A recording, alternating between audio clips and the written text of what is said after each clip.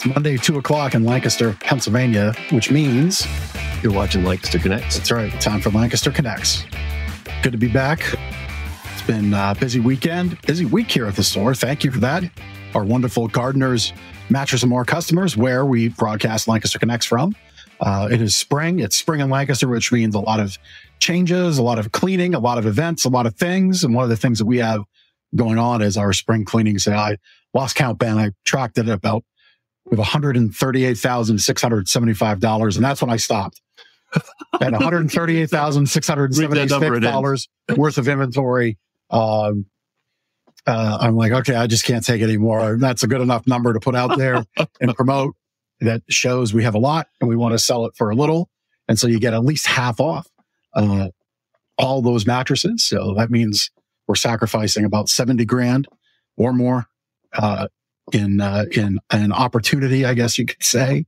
But, uh, every one of those mattresses tells a story of making a customer happy, bringing something in that didn't quite work. It's a floor model. It's a demo. It's got a little scuff, but it could be yours to love and enjoy at home. And so our spring cleaning sale has kicked off in full force. And it should be uh, two two points to make there.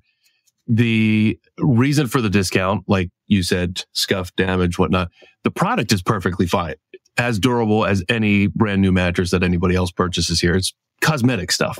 You know, floor models aren't perfect, for example, or a mattress might have gotten a little scuff coming off a truck. Yeah. Physically, the mattresses are perfectly fine to sleep on. Then the other point, 50% off is a great deal.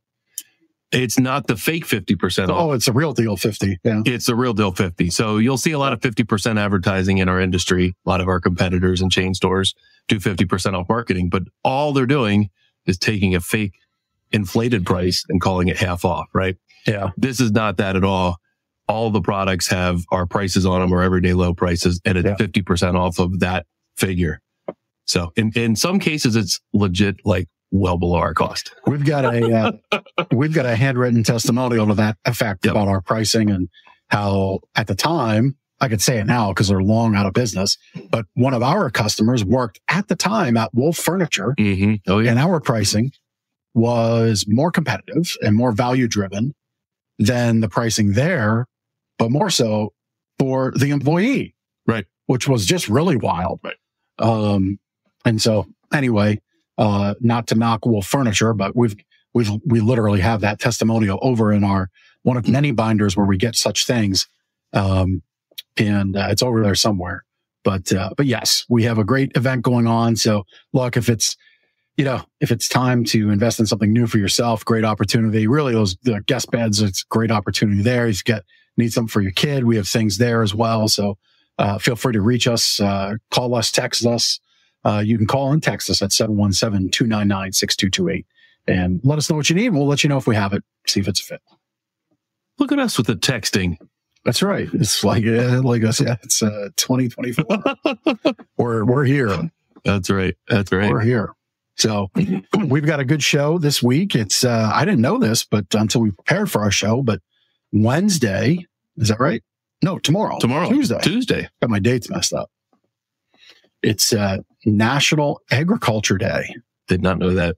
Pretty big day here in the region uh, where we still grow a lot of things and produce a lot of things. And so we're happy to have our guest on. Um, guess it's time to bring Jason on. But let's bring him on. That's right. We, we always say we like to try to cut the banter to six minutes or less. And we, that- yeah, we yeah, just it's did pretty it. good. We We, went on football in Club America. What clock were you looking at? Oh, this one down here.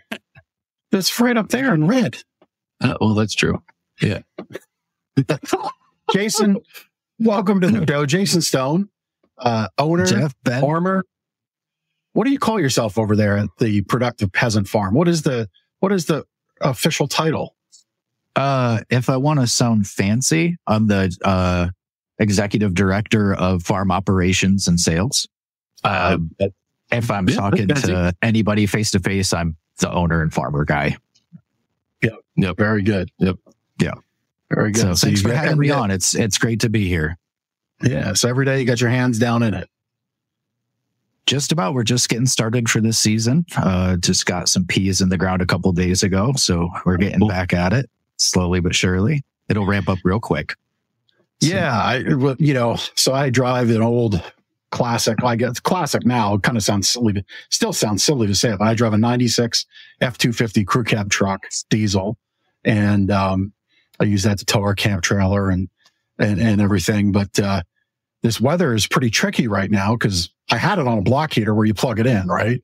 Mhm. Um, you know, di- diesel trucks are the original plug-in car. I like to kind of joke. um, but uh, I, I hid that away last week because we were at this glorious weather of 70. 70, yeah. Mhm. So what's it like right now? This time of year, balancing in Pennsylvania, this up and down. What's that do to what you plan and what you put in the ground? Well, um, yeah, every most every farmer would like to get their stuff in as early as possible so that they have something to sell as quickly as possible. And so you're Mm. always trying to read the weather and, you know, you might look at a seven or 10 day forecast and, you know, see what's coming up and say, okay, if, you know, if it's going to be like this, maybe now's the time to go. Um, and then, you know, you can have a, a stretch like we've had recently over the last two and a half weeks where, you know, it was nice and warm and, uh, might have seemed like a perfect time to, to get going. And then all of a sudden you get this cold snap. And, um, most years, uh, I would have, uh, put a bunch of stuff out by now, like salad greens and stuff. We have a few kind of DIY high tunnels, um, that, you know, they get the job done, uh, in terms of keeping things warmer, um, even cooler temperatures. Like if it gets down to about 27, 28, it can still generally keep like salad greens and stuff like that going. Um, but as luck would have it, like we just had our first child a couple months ago. We had a little girl and, um, you know, that adds a whole new, uh, dynamic to, uh, managing your time. And so this year I didn't actually get to putting things in when I would have, you know, I, I normally have a rough plan to start around March 5th, um, in those tunnels and it just didn't get done. And I was kind of kicking myself, uh, you know, during those warm days, kind of thinking, man, I should be out there and I should get that stuff in the ground. And, um, you know, looking at it now, it's like, had I done that, they, everything would have been germinating right at the point as we're going to get this next snap. And so I kind of lucked out by just kind of holding Uh. off. Um, on our farm, it's not too big a deal if something like that. If, if I had planted and, and, and things got hurt by a cold snap, it wouldn't have, you know, it would have just meant that, you know, I went through some seeds that, you know, didn't come up to anything, but, um, that's kind of smaller potatoes in the long run. So we would have Sure. just started over, you know, intended. and we would just said- so we would have started over and just said, okay, well, you know, we'll, we'll have something to sell two weeks later than we hoped. But, uh, Yeah. Yeah. yeah. So yeah. Well, we had your uh, little daughter on the screen, Clara. I believe I saw her name is. So yes. I love, Yep, love the little clothing, little sprout. I love that. That's cute. Yeah, she's all she's got all sorts of veggie and fruit themed clothing that family and friends bought for her. She's got a couple that have pictures of carrots and beets and it says I love my roots. Uh, and she's got you know, she's got summer hats with cherries and strawberries and onesies with you know, grapevines and uh, Yeah. all sorts of cute stuff. So yeah, That's cool. so I, hopefully that, you know, portends uh, well for the future and she'll decide that she'd like to help out at some point. I made a joke to my wife before she was born and said, you know, as soon as she can grasp my finger, I'm going to have her out there picking cherry tomatoes. Yep. And, um, you know, within five minutes, she was on the bed and I went over to her and she grabbed right a hold of my finger and I thought, oh, I don't know if she's quite ready yet, but get her, get her outside. Yeah. Yeah. Yeah. yeah. Yeah, just just so you know, I appreciate the use of the vocabulary term portend. Proper use of or Proper use of Ben. Ben attempted that a few weeks back, That's, and so it's That's a- it's, it's- the, it's the second time it's been used here on the show in the last month. And but first time properly. appreciate the proper use 'cause every, yeah, every now and then I like to throw in like a $16 word. Yep. Try Yeah. My, my version lost us money, I think. and indicate, signify. That's I don't believe that's That's not how I used it. I don't That remember is what it was. I'm sure not- Chris can Yeah. find it, right? yes. Hey, uh, Jason, I want to go back to uh, National Agriculture Day. That's tomorrow. I think we we determined. Um, what's uh, what's what does that mean? And and what are your first memories of agriculture or working on a farm or being involved in growing produce?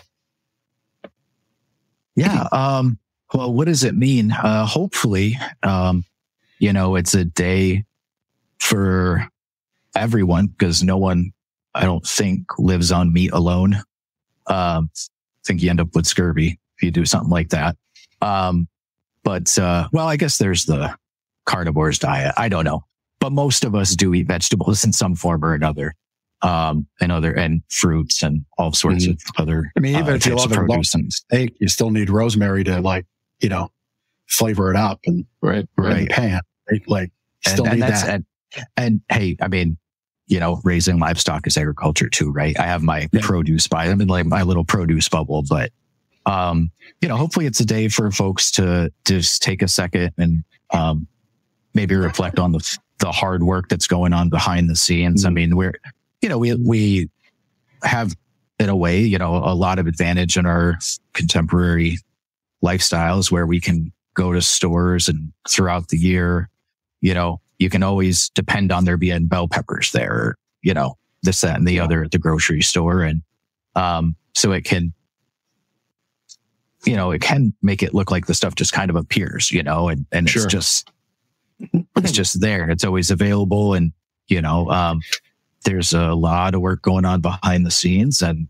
um, over time as our society has kind of moved away from self-sufficiency and having home gardens for a lot of people, um, the kind of the knowledge and understanding of what's going on behind those scenes is, uh, is reduced. So hopefully it's a, it's a day where folks can, you know, take a couple seconds and just, um, you know, recognize and hopefully have some appreciation for all the hard work and passion that's going into this all over the country and all over the world. Um, and then your second question was, oh, growing up, how did, what was my exposure to agriculture? Yeah, and, and Uh, kind of tying into National Agriculture Day, your your appreciation for growing crops. Yeah. So, um, I was exposed to I grew up in a very rural area in upstate New York, tiny little town called Victory. Um, we had two mechanics and one flashing red light in our town. I mean, if you, my mom liked to say, you know, if you blinked as you were driving through it, you'd miss it. Um, and it was mostly a corn and soybean area. And that never really struck a chord with me. I mean, we had some farm stands, um, spread out here and there. Um, we had a very small garden in the summertime, but it, it just never grabbed my attention that much growing up, oddly enough. And then, um, I had gone off to college and wanted to be a professor.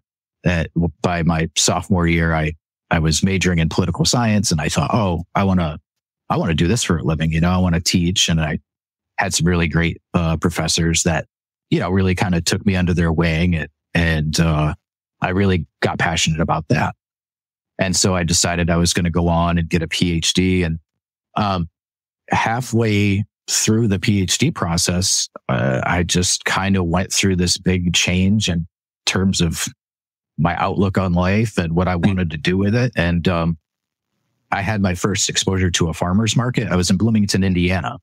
Hmm. And, um, there was just this beautiful outdoor market. And I saw some of these farmers who were selling things I had never even heard of before or seen before, you know, um, these really beautiful things that were just fresh. And, um, I just kind of started getting interested in it, you know, and I went and visited a couple farms and, uh, you know, I was going back and forth. I'm like, do I finish this degree? Do I not? Is it even realistic to jump out of this and go try to go into farming? I, I I've never heard someone say that's the ticket to financial ease.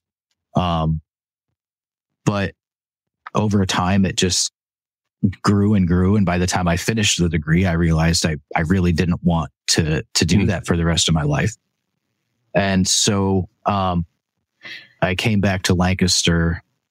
We had moved out here a couple years before I finished the degree. And then, um, I went back at the very end to finish up what I was doing and then came back here and I just made this decision that I was going to get a job, even if it was part time, a few nights a week or something on a local farm and see if there was really something there for me.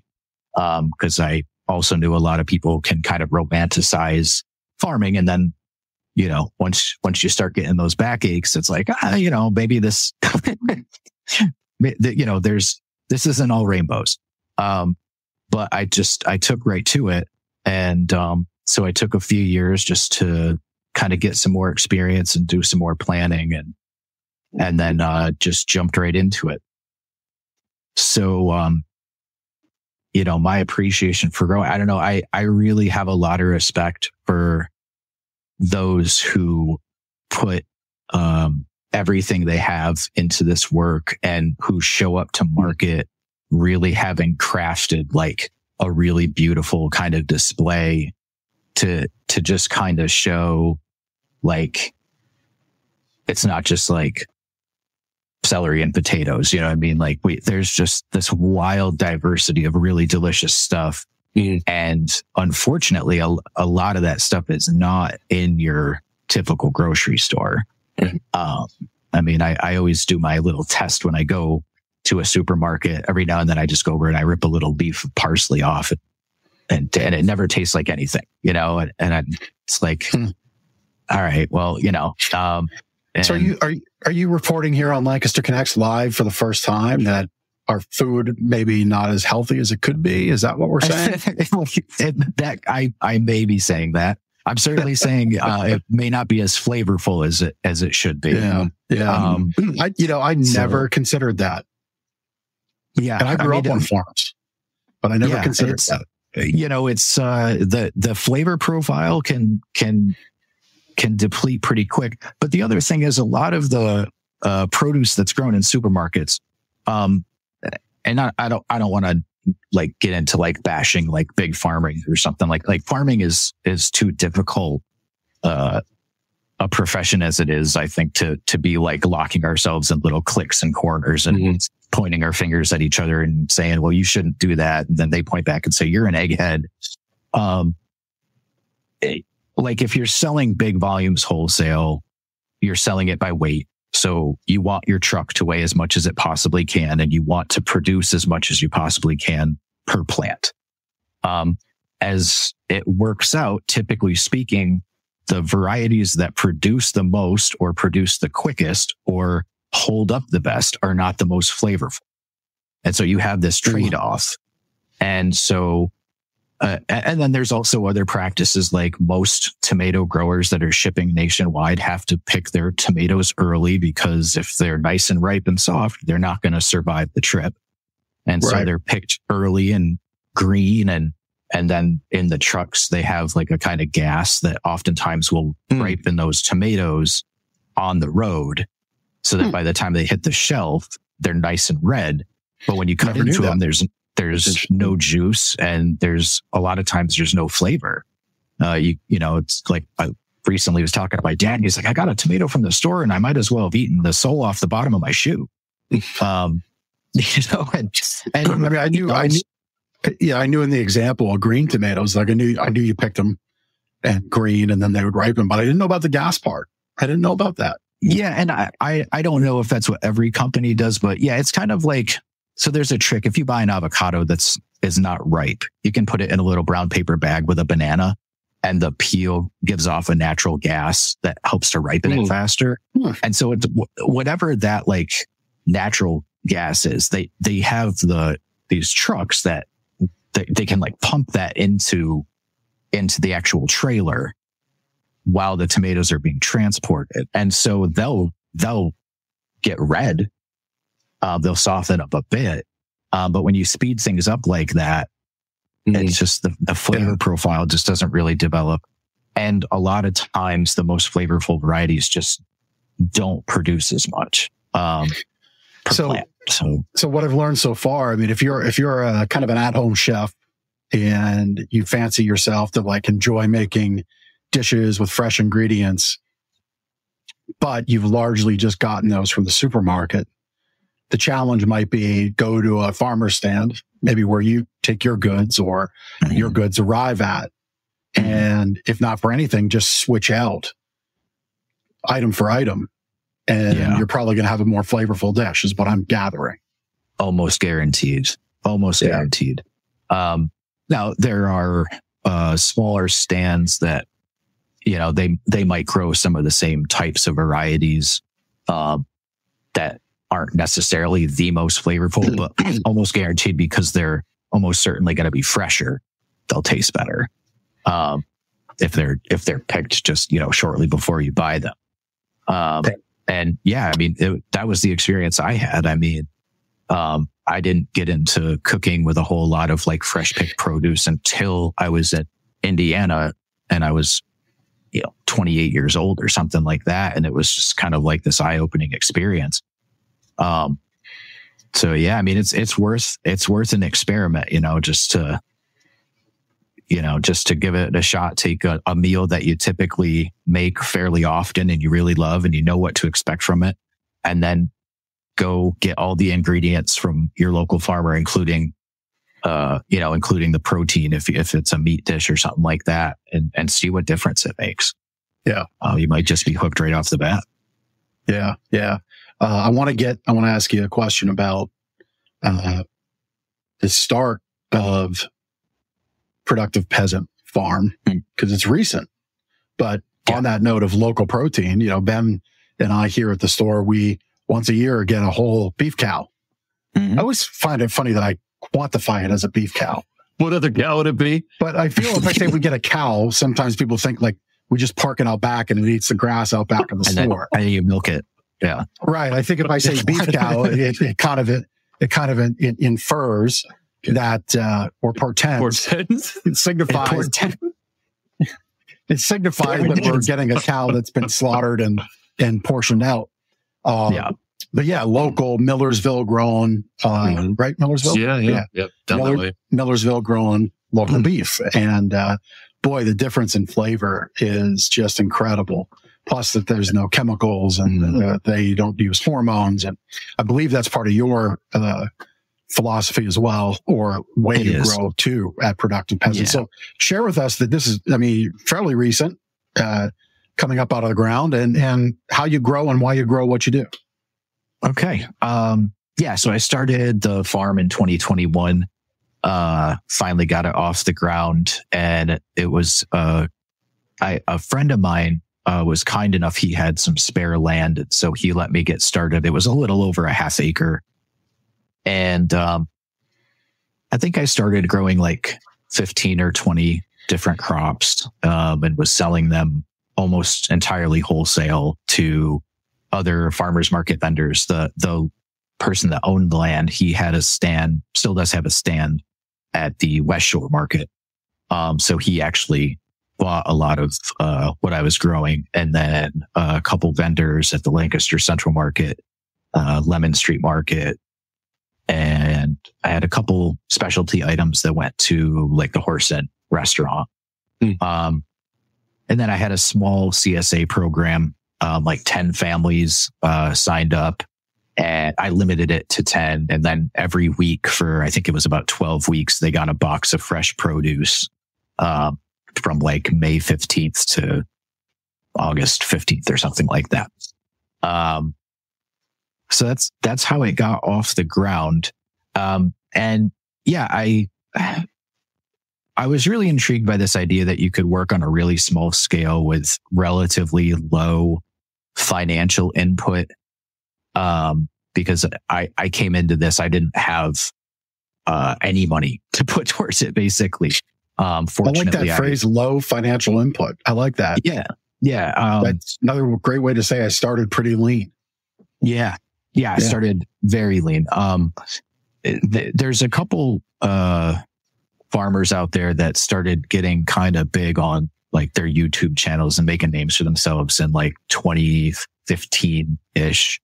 So right around the time I was getting really interested, uh, one guy was, uh, Jean Martin Fortier up in Quebec and another guy was Curtis Stone, also up in Canada. Um, he was on- the, uh, in BC on the West Coast.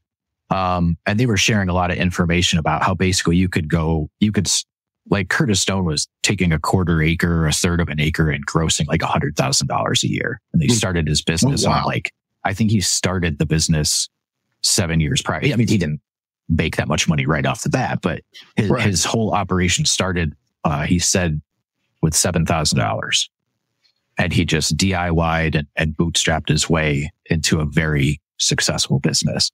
Uh, Jean-Martin Fortier kind of made his name by showing, uh, how a whole system basically could, if you had an acre or so of land, you could gross about a hundred thousand dollars. Um, the differences between the two were that Curtis Stone was exclusively growing a very small number of very high value crops that were high dollars. So he could generate that kind of revenue on an even smaller scale. Jean Martin Fortier's approach was more like mine, where it's like a whole wide variety, trying to be as much of a one stop produce shop as you, as you could reasonably be on a small piece of land. and so I was really like, I mean, partly out of necessity, but partly out of realizing it was like, okay, I don't need to go buy a 20 acre field or, um, I don't need to feel bad that I don't come from a family that owns a bunch of land that I can use. Um, I don't have to worry that I'm going into this without too much experience and, and, and employees to help me. If we can stay on a small scale and everything is right there, um, you know, it's, it just seems very doable. And, um, I like the idea of, of not using chemicals. I don't know. I mean, the, the, the research goes either way in terms of like, is it harmful for you to consume it or not? Uh, I mean, and, and I don't know that part of it's just because the inherent difficulties of like doing a nutrition study, like to, mm-hmm. to, to basically make a definitive case, you'd have to get like 2000 people to eat the exact same diet for at least a year. One of hmm. them, it would have to be, uh, like conventional and one would have to be all chemical free. And I don't know how much money you'd have to pay 2000 people to mm-hmm. control their diet for an entire year, but it would probably be a lot. And they'd all have to have like the same baseline of health and just all, I mean, it, it would be almost impossible to, to really nail that down. But I thought, you know, I'd rather be on the safe side is one. Uh, and the other thing is one thing that was really well shown by uh, some research the USDA has done is that um, farmers who use chemicals uh, are, are, like there's a, a, statistically significant correlation between farmers who use chemicals and their family members uh, coming down with things like non-Hodgkin's lymphoma mm-hmm. and mm-hmm. other health problems. So even though in that study they didn't find a difference between eating organic or eating conventional, the people that were out there doing work um, were were having much higher instant incidences of of health issues.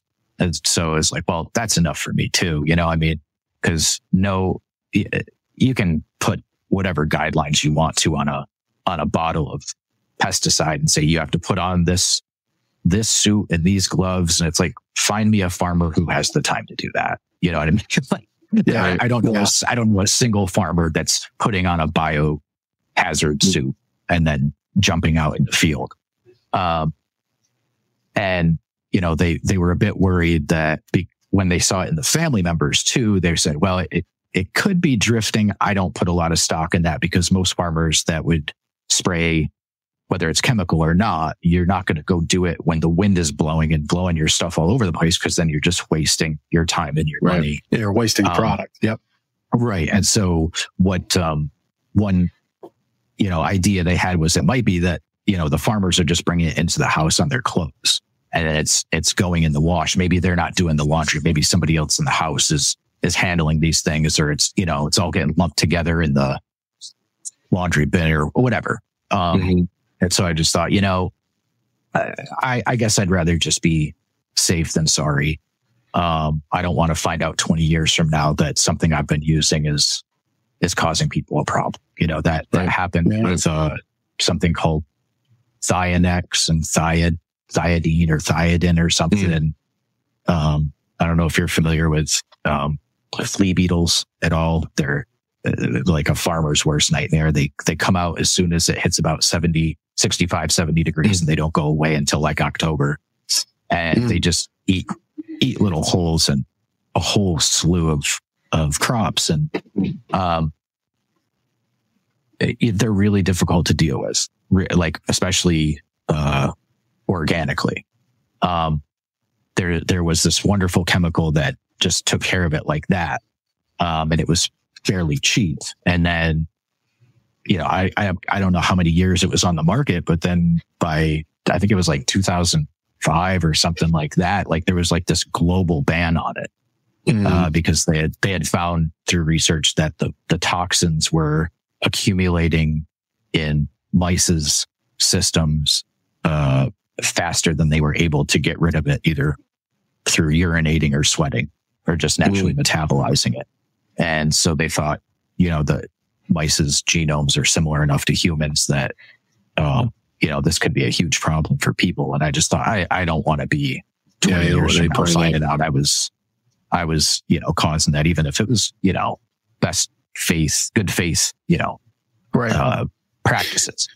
So, um, so that's why I went chem free. And then I, I also had a really, uh, I think it's really important to improve the land that you're on, uh, not deplete it and leave it better for the next person if there's going to be a next person. And so I don't till up the beds that we grow in. We use a lot of compost to try to build up the organic matter in the soil, uh, so that the soil itself is healthier. Um, over time, that should translate into more nutrients in the, in the soil for the crop itself. Um, we also use, uh, customized fertilizer blends for every crop that we grow. So I have a fertilizer supplier. He probably hates me by now, but, um, it's, you know, instead of calling him and saying, Hey, I need, uh, fertilizer for a hundred acre cornfield, I call him and I say, okay, I need, I have 900 square feet of carrots, 1500 square feet of arugula, you know, all the way down the list. And we grow about 40 different crops. And he makes me these small batches that are for each crop.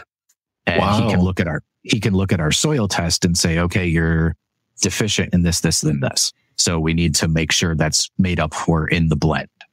And then that way, when I go out into the field, I can, you know, I can, I can go home at the end of the day and say, I have done everything I possibly can to make sure I'm, I'm growing a healthy product for whoever ends up consuming this, whether it's a CSA member that I'm dropping a box off at their doorstep or it's, you know, a customer going to like Luca and going out to restaurant or the John Wright restaurant where, you know, people expect to have a Mhm. good meal.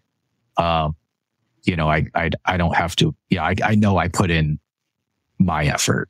Yeah, That's so- so. wild. So even down to the fertile, I mean, you know, you think about people that spend a lot of time on the, the chemical makeup of their bodies, you know, hormones, which actually that's my sleep better tip later in the show. Um, you know, we understand the composition of ourselves, but, and we understand the composition of the food we eat, but do we understand the composition of where our food is grown? That's really of the, interesting. of the soil itself. Yeah. Yeah. Um, Yeah, and I mean, I knew. I there's- so I grew up in Canada, and, and I know um, you brought up like you know being exposed to cancers as you said that. I'm like, there was a high amount of people that I know that had cancer. Mhm. Yeah, and, th- and this was flat, flat, big factory farms, um, Mhm. massive farms, and Yeah. uh, you know the soil was always a problem, and and there the answer was there. Well, we grow this here this year, and th- then we move it over here the next year, and we bring this other thing in, and ultimately that just keeps it fertile as best could be. Mhm. But they weren't Mhm. working at nine. They weren't taking this part to 900 square feet like you are with the fertilizer. That's really interesting. Well, that's why I say my, my fertilizer guy must hate me because like I get, you know, with each bag I get, there's like a, a sheet that lists like the ingredients. And at the top, it says like acres and he's got to write like 0.013 or something. I mean, like he's Wow. sitting down doing all this math to, to figure out like how to, how to come up with such small little batches for me. But, um, God bless him. I mean, he does it. I really appreciate it. That's cool. Jason, I have a number of questions here. First, first the, the bearded guy that we've been seeing in the photos, is he an employee?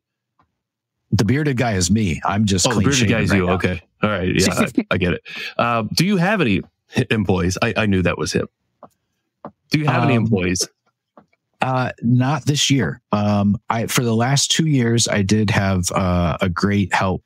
Um, and then, uh, towards the end of last year, he ended up getting a, a job, uh, with a local school to be a teacher. It, was it was really interesting because, he, so the LNP had done a story on, on our farm back in its first year and kind of like the, you know, the plug was like the peasant with the PhD, you know, and it was kind of like, what a weird journey kind of.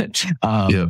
And, uh, so when I moved to Wrightsville, our, the farm size doubled and I thought, you know, it was getting to be spring and I was like, I got to find some help somewhere, you know, and, um, out of the blue, I got this email from a guy and he had just finished his PhD in geology, but he wasn't sure that he wanted to go into academics and he really liked growing stuff. And he had come across the article in the LNP. Your and doppelganger. Sounds familiar. he- yeah. And he said, is, is there, you know, can we talk about like how you made that transition, you know? And so he came out to the farm and we walked around and talked for like an hour and I could tell he was into it. So I just said, do you want a job?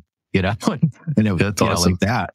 Um, and he worked there for two years and, and had a great time, but he ended up, he did want to like try out teaching and, you know, the kind of bummer about a lot of folks in agriculture is that we don't make enough to provide like health benefits and things like Mhm. that. And so, Yeah. you know, uh, it made sense for him to, to go somewhere where he, where he could get those things.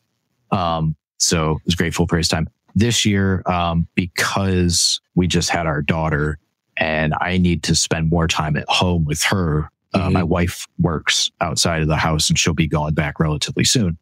Um, I needed to kind of scale down and just, Mhm. so we're, we're, we're, we still have the whole acre. It'll probably end up being like two thirds to three quarters of an acre. Um, and then I've, I've dropped like the, the farmers markets and things like that. And I'm just going to be doing like, uh, home delivery and selling to restaurants and, and then the CSA program, which people can still sign up for over the next two weeks. Um, cause that just cuts, uh, we were spending 30 hours a week. I was spending Mhm. 30 hours a week just at the farmers market Yeah. last year from Thursday, Friday, or excuse, yeah, Thursday, Friday, and Saturday. Uh, and it was like, okay, okay, you know, that's, that's gotta go. Um, so it just, we're kind of tightening up and, and trying to make things a little more efficient and manageable for, for me to do in the hours, you know, the reduced That's hours. have. And that, that was that was the other question I wanted to ask. Um, you know, so you you did the farmers markets, and you're not going to continue that this year. But I'm curious about the food delivery. That's cool. And also the Yeah. CSA. I know you said you had ten people initially. Has that program gone uh, grown? Uh, are you accepting people to buy into the CSA? And maybe for Mhm. those who don't know what a CSA is, maybe explain a little bit about what that what that is. Yeah. So, um, kind of it loops back into the first uh, thing we were talking about at the top of the interview. Um, uh, farmers don't have much money in the spring because we don't have much to sell. All of our costs come in the spring. So we have seeds, plants, Mhm. any repair, any supplies that need to be replaced. Um, you know, your first quarter taxes are still due. Um, you know, and, and all sorts of, uh, expenses are right up front. And, you know, like for us, for instance, we don't make our first sales until about mm, late April.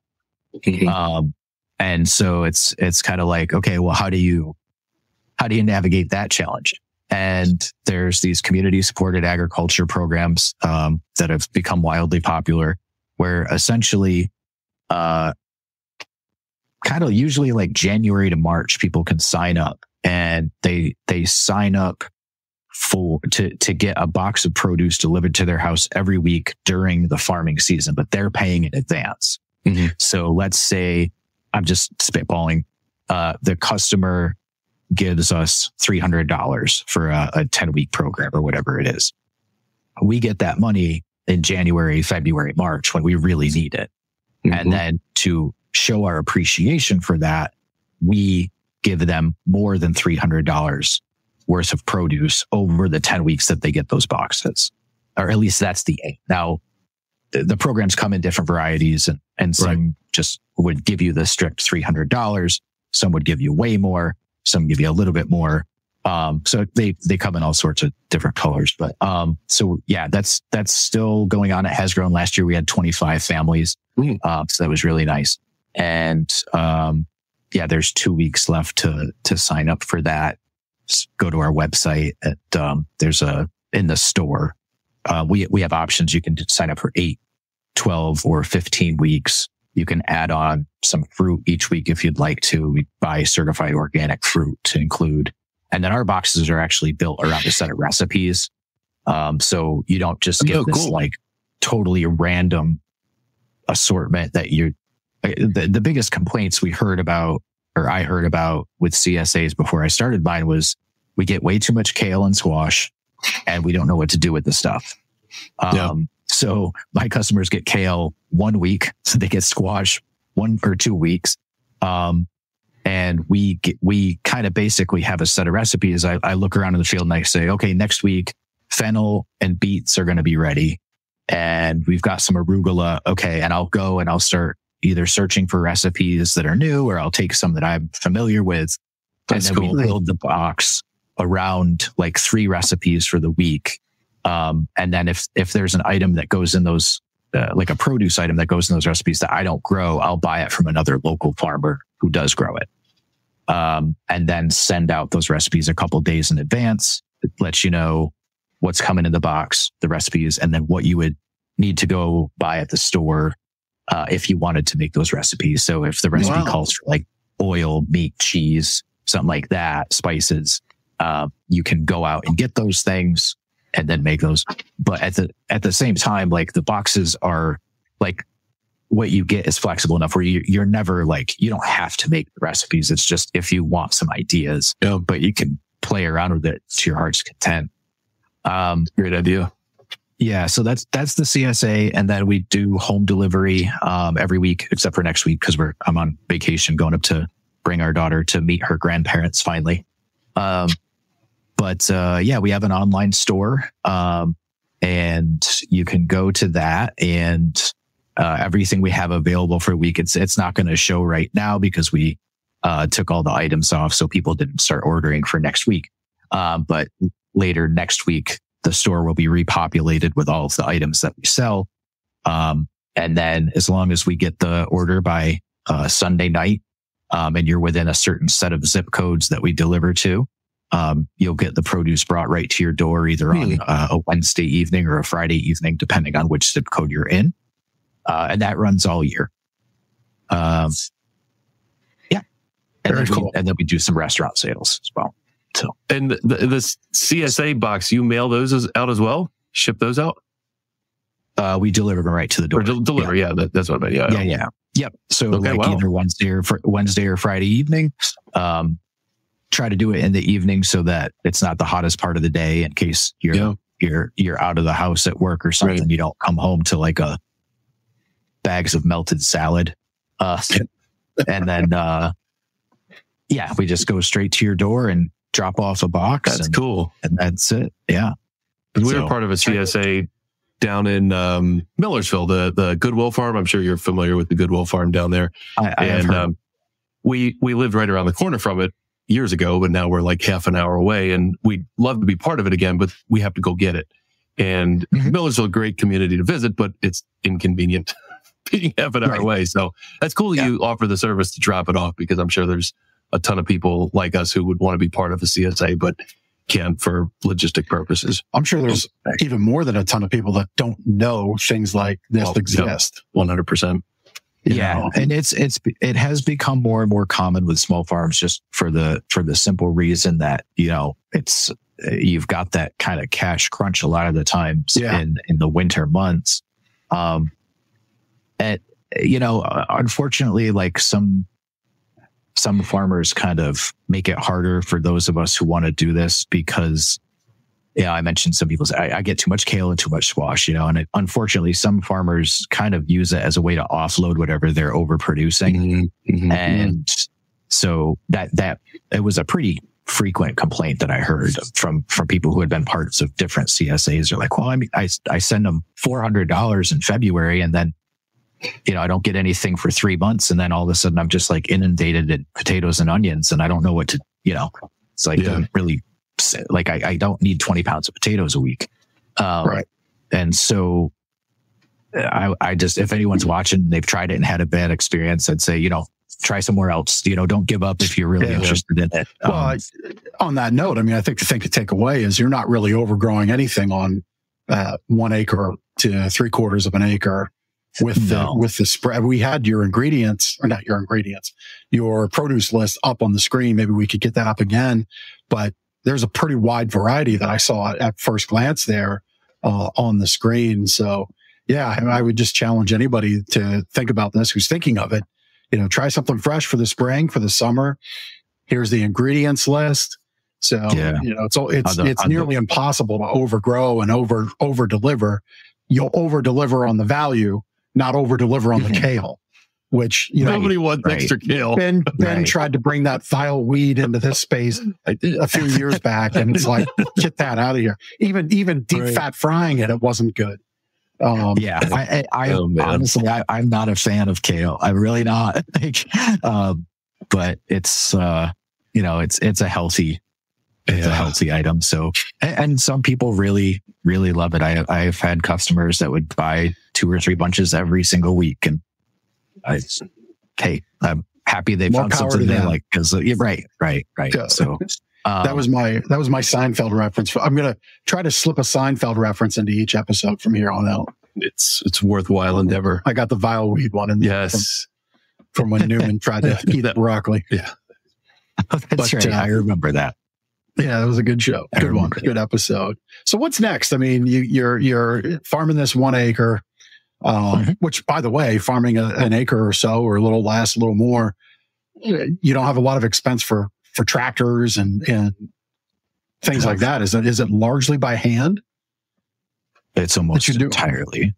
I mean, we had so so I do a lot of like salad greens, and there's something uh, called the quick cut greens harvester that is it basically if you were to so uh, let me put it this way. the farm is kind of like a one acre garden. It's um there are 85 growing beds that are two and a half feet wide by 100 feet long, and then Hmm. there's like 15 to 16 inch pathways in between. And so everything is really tight. Uh, like really, really tight. So you pack a ton into that one acre. Yep. Um, the salad greens we're able to usually harvest with this quick cut greens harvester that if we were down on our hands and knees cutting by hand, one of the, a, a 100 foot bed would take three people, I don't know, three hours or something like that, probably. Um, I can do it myself in 15 minutes. Um, Oh well. so that that helps a lot. Uh, but no, I mean the the most uh, mechanical thing I have is a rototiller, and I just use that for like the pathways uh, to keep the to keep the grass down. Um, and like I have a weed eater, you know, but um, it's very low tech. If you had a tractor, then you would have to leave room to turn around and drive around, and Yeah. so all of a sudden, it, like say you only have one acre to work with, you've cut 10 feet off on one end and 10 feet on the other. And I can't remember. I had, I had figured out just 10 feet on either end of the farm. If I had gotten rid of that to get a tractor in there, I think it was like losing like $4,000 in sales a year or something like that. Mhm. Um, or It's an least, expensive you know, tractor. Right. It's even though in addition to the cost of the tractor itself and the maintenance and all that stuff, it's like you you grow less. Now, if you have 20 acres to play with, then of course you're going to have a tractor. If you have five acres, you know, you probably have Yeah. a tractor. Uh, but doing it this way just allows me to keep everything right there. And it's, it's so nice if you're working with other people. You don't have to run around tracking them down. You know, you just holler at them or, uh, Over there. yeah, we were used to use walkie talkies. That was kind of nice. Um, and you know, if, if I want to do like a crop walk in the morning, every Monday morning, the first thing I would do is get there and just walk around and see if any problems have developed over the weekend or something like that. And take me 15 minutes, you know, to Yeah. walk in, and I can see everything on the farm in that amount of time. And, and that's, that's even if the farm itself is completely planted and full.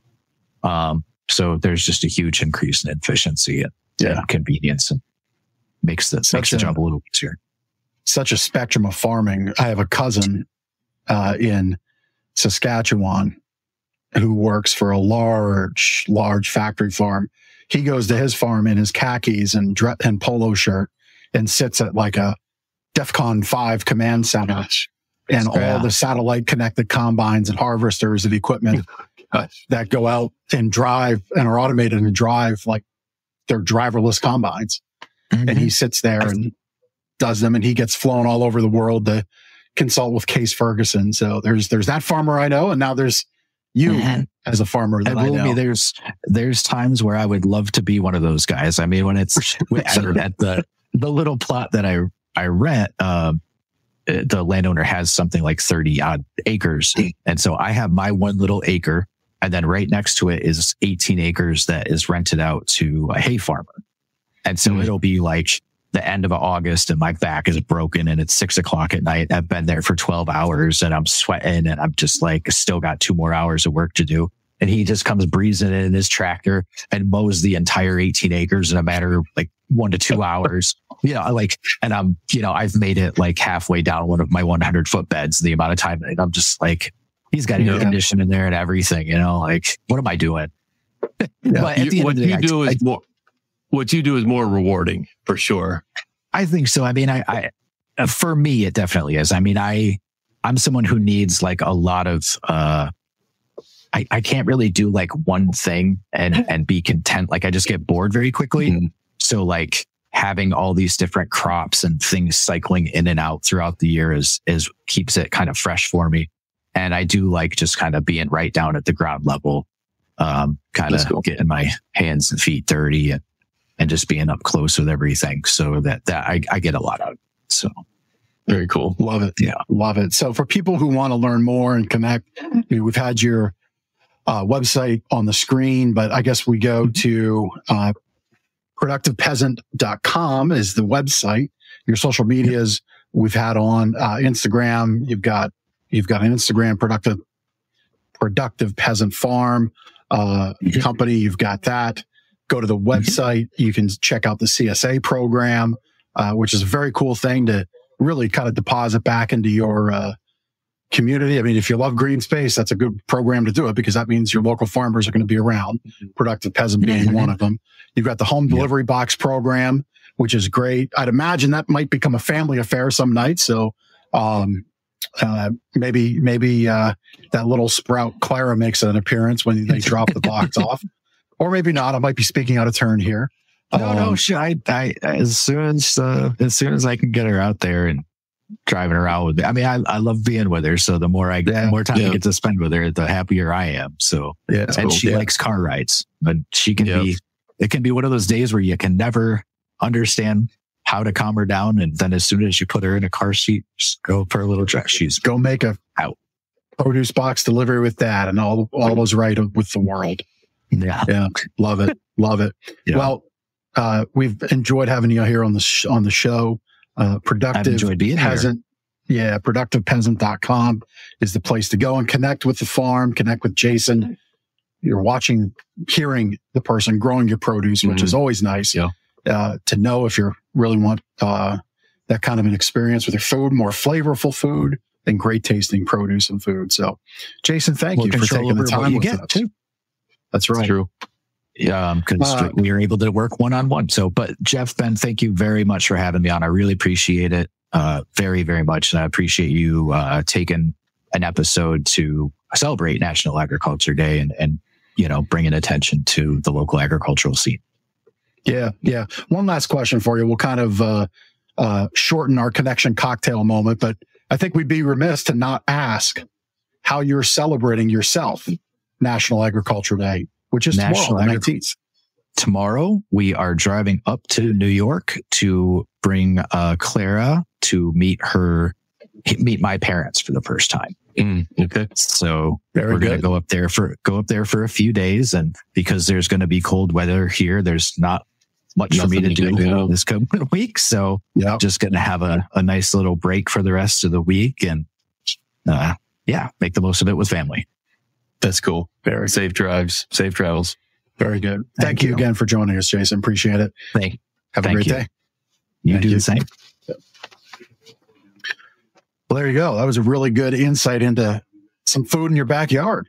The the the fertilizer thing blew me away. I mean, it makes sense. You have different crops and they probably require different things, but yeah, That's- it's fertilizer is fertilizer, right? Like I don't know any different. Yeah. That's pretty cool. Yeah, it's uh, it's a whole thing. Yeah. Like 40 different crops, 40 different types of fertilizer. Yeah, That's neat. yeah. It's how you get those carrots a nice orange and the green's a nice shade of green, representative of the green you need or want. Juicy tomatoes. Juicy vine ripe tomatoes. I thought the avocado tip was pretty cool too. Putting it with you- a banana. Yeah. That's wild. yeah, maybe they could power vehicles with banana gas.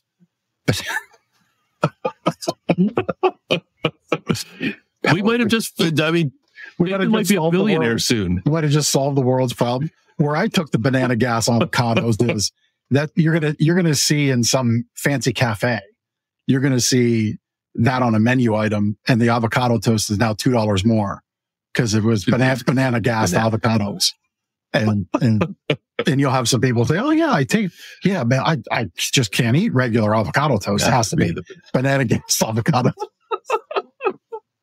That's, yeah, that's pretty good. Anyway, but it's really cool. I you know I like avocados. I, I've become more of a fan of an avocado. Yes. And, and of course, you appreciate it. avocados make, I know what you're going to say. Avocados make guacamole and that's, Yeah, guacamole's good. So you're coming to appreciate avocados for For what they what, are. for what they are.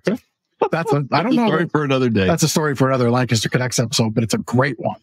It really is a great one. And it relates to produce in a way, uh, yeah. fermented produce. So Yes. I will give you my sleep better tip. It's a pretty simple one.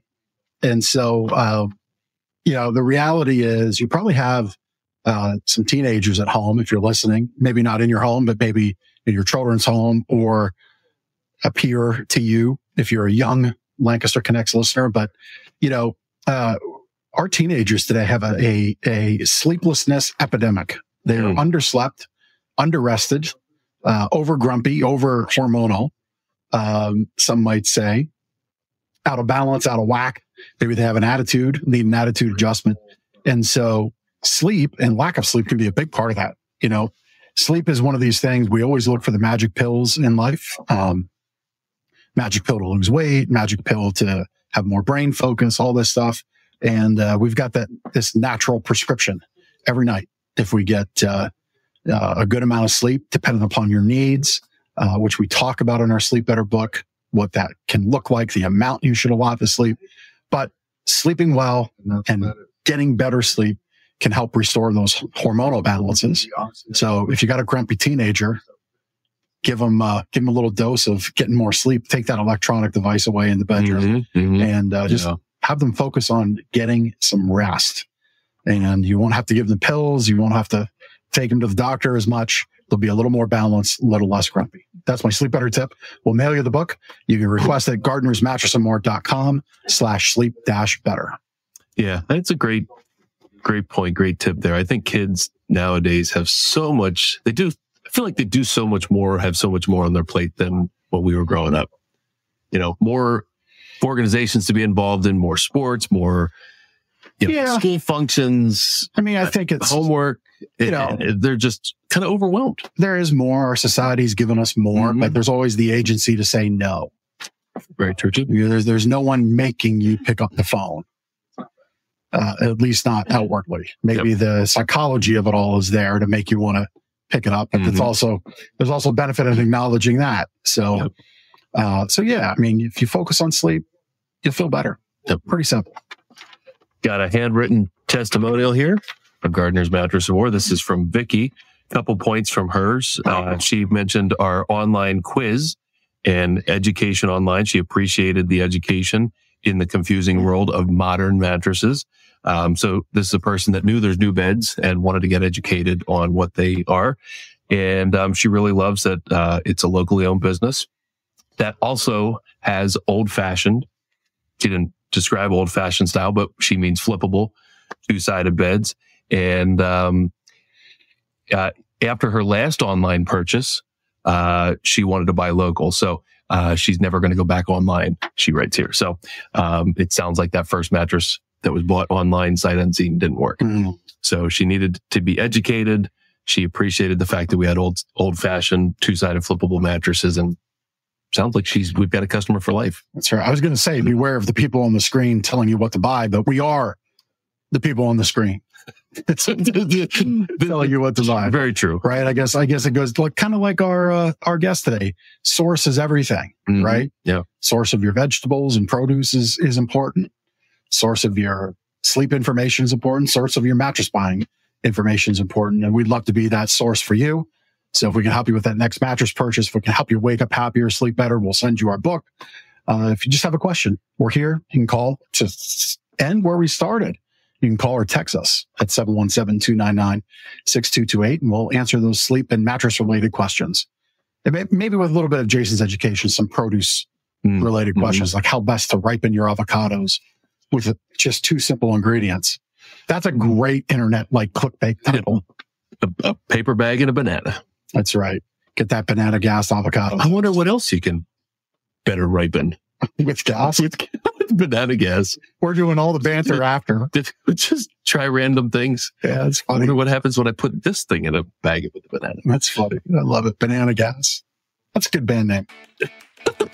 On that note, thank you for tuning in. I love the conversation we had with Jason Stone. Please check out theproductivepeasant.com. Great farm here in our community, uh, helping you get great, healthy produce to your table. And he'll deliver it to you. Productivepeasant.com. Go check it out. We'll see you next week on Lancaster Connects. Take care.